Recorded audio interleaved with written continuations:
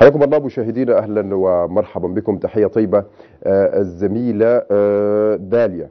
أهلا بكم مشاهدينا أكيد متواصلين مكملين معاكم من خلال هذه الجولة الإخبارية بعد هذا الفاصل.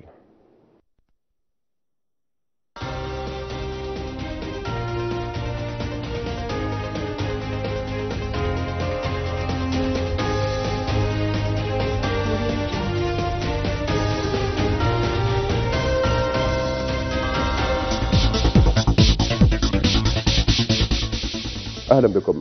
أكدت السيد زؤمان صالح سعد وزيرة التجارة والتموين على أهمية وجود مكتب لوزارة التجارة بولاية الجزيرة مشيرة إلى استعداد وزارتها لتكملة إجراءات المكتب ورفضه بكوادر وخبرات من الوزارة وتذليل جميع المعوقات التي تعترض سير العمل والاهتمام بالتدريب وتقديم كافة الاستشارات الفنية لتنميه وتطوير ولاية الجزيرة وتحسين خدمات تجارة من صادر ووارد داخلية وذلك من خلال مكتب التجارة بالتنسيق مع الجهات ذات الصلة ممثلة في بنك السودان والجمارك والاستثمار. جاء ذلك لدى لقائها بمكتبها بالسيد إسماعيل عوض الله العاقب والي ولاية الجزيرة بحضور قيادات الوزارة. ومن جانبه أكد الوالي بأن ولايته تعتبر ولاية وسطية هامة تتمتع بموارد كثيرة خصوصا سلع الصادر مبينا أن هناك مساع كثيرة لتطويرها في العديد من المناحي بالإضافة للبنية التحتية مؤكدا سعيهما الجاد لتشغيل مسلخ تنبول والذي يقع في منطقة وسط البطانة وهي مركز لتواجد الثروة الحيوانية بكثافة عالية بالإضافة للمسلخ الذي ينشأته الشركة التركية بمدني مؤمنا على أهمية وجود مكتب التجارة بالولاية والذي يعتبر حلقة الوصل بينه والمركز ووعد بدعمه حتى يؤدي دوره المروض به لخدمة مواطن ولاية الجزيرة. وقال إن الولاية أيضا شرعت في تنشيط الميناء الجاف لكي يستفاد منه في عملية الصادر والوارد خصوصا وأن الولاية تتمتع ببيئة مناسبة وبها نقطة الجزيرة التجارية. موضحا جاهزية الولاية للربط الشبكي وأنها تعمل بالنظام الإلكتروني حتى الوقود يتم الحصول عن طريق الدفع الإلكتروني. زار وفد من طلاب قسم العلوم السياسية بجامعة النيلين المفوضية القومية لحقوق الإنسان في إطار برنامج التدريب العملي للطلاب. وكان الوفد بقيادة دكتورة مايسة مدني رئيس القسم بيرافقها دكتورة إجلال عبد اللطيف. منسق الزيارة ودكتورة رحاب محمد أستاذ العلوم السياسية المساعد. وقال رئيس المفوضية القومية لحقوق الإنسان دكتورة رفعت دكتور رفعت ميرغني عباس الأمين الذي كان في استقبال الوفد وعدد من الموظفين والموظفات بالمفوضية أن الزيارة جاءت بغرض التعرف على مهام واختصاصات وأدوار المفوضية مبينا أن الحوار التفاعلي الذي جرى مع الطلاب حول هذا حول هذا الموضوع بالإضافة لهيئات وآليات الحماية الدولية والإقليمية والوطنية لحقوق الإنسان كان مثمرا للغاية. بحث وزير الري والموارد المائية المكلف المهندس ضوى البيض عبد الرحمن منصور بمكتبه أمس مع وزير الخارجية المكلف على علي الصادق سبل التعاون والتنسيق بين الوزارتين لتفعيل الدور الريادي لكليهما في إطار المهام الوطنية الملقاة على عاتقهما. وأكدت وزارة الري والموارد المائية في تعميم صحفي عقب اللقاء أنها درجت على التنسيق والتشاور المستمر مع الوزارات الأخرى لخلق الانسجام المطلوب لتجويد العمل لرفع كفاءة الأداء وزيادة المحصلة الكلية في الناتج القومي المشترك خدمة للمصالح الوطنية.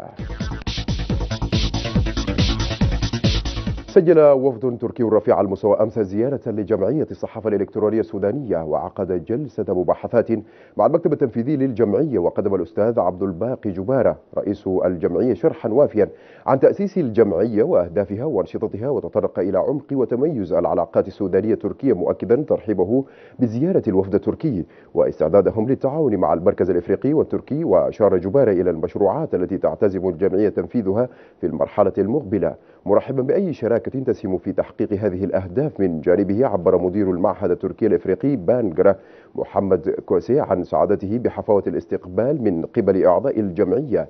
وقال إن المعهد الإفريقي تأسس في أنقرة ويهدف للانفتاح على إفريقيا والتعرف على الشعوب الإفريقية عن قرب وكذلك من حق الشعوب الإفريقية أن تتعرف على الأتراك عن قرب. وكذا بأنهم يرغبون في شراكة مستمرة مع جمعية الصحافة الإلكترونية لتنفيذ عدد من البرامج في مجالات التدريب. والورش أكملت اللجنة العليا لتكريم نائب رئيس مجلس السيادة الفريق أول محمد حمدان دقلو استعدادها لتكريمه بالأربعاء القادم بالجنينة وذلك تقديرا لجهوده في دعم المصالحات وترسيخ قيم التعايش السلمي بين مكونات المجتمع. وكذا رئيس اللجنة العليا لتكريم نائب رئيس مجلس السيادة الأمير الطاهر عبد الرحمن بحر الدين أن التكريم يأتي بدعم شعبي من أبناء غرب دارفور تحت شعار دارفور تتعافى. لافتا أن البرنامج يشتمل على ختان 500 طفلا من بينهم 400 من أبناء النازحين و100 من أبناء الرحل بجانب تدشين صندوق عودة النازحين. قال نائب رئيس لجنة التسيير لشؤون الرياضية عادل عادل أبو جريشة إن فريق المريخ أدى موسما شاقا ورال مرهقا أضاف خاصة لاعبون أدوا الموسم بمعدل مباراة كل ثلاث أيام وهؤلاء اللاعبون بشر وليس بآلات ماكينية وتابع توقعنا من لجنة المسابقات مراعاة الموسم المضغوط والإرهاق الذي أصاب اللاعبين وحوجتهم الماسة لراحة سلبية قبل بداية الإعداد للموسمين المحلي والإفريقي والذي سينطلق في سبتمبر المقبل. وكشف أبو قريشة أن المريخ سرح جميع نجومه سرح جميع نجومه بناء على طلب المدير الفني والذي أفاد بعدم أداء أي مباراة بعد 30 من يوليو. وقال كنا نتوقع أن يتعاون الإخوة في لجنة المسابقات مع ناديي القمة. عالميا أصبح الفرنسي عثمان ديمبلي نجم برشلونة بمثابة صفقة جديدة أبرمها الفريق الكتالوني لتدعيم الخط الهجومي قبل الموسم الجديد. ديمبلي الذي قطع فترة طويلة من المفاوضات مع برشلونة انتهت بنهاية عقده وأصبح خارج الكامب نو. قرر التراجع عن نية الرحيل وقام بالتوقيع على عقود جديدة مع البارسا خلال الفترة التحضيرية التي شارك فيها ديمبلي مع برشلونة في الولايات المتحدة الأمريكية.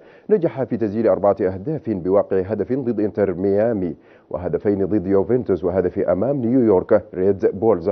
وكان ديمبلي أحد أفضل لاعبي برشلونة خلال الفترة التحضيرية ونال مستواه المبهر إعجاب الجماهير التي تتوسم فيه خيرا قبل انطلاق الموسم الجديد. وأشاد المتابعون بانضباط اللاعب واستمراره في التسجيل وصناعة المحاولات الخطيرة على مرمى الخصوم. كان تشافي من الأسباب الرئيسية لبقاء ديمبلي رغم تلقيه مجموعة عروض حيث ضغطت على الإدارة من أجل العودة للمفاوضات الجديدة بعد وصول الطرفين لطريق مسدود. هذا الخبر ينهي نهاية عرض العاشرة من قناة البلد. الآن إلى استوديو صباحات البلد مع الزميلة أمل خليل. أهلا بك زميلة أمل.